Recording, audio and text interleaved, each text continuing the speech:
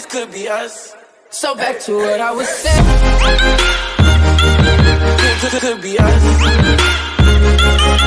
Say food.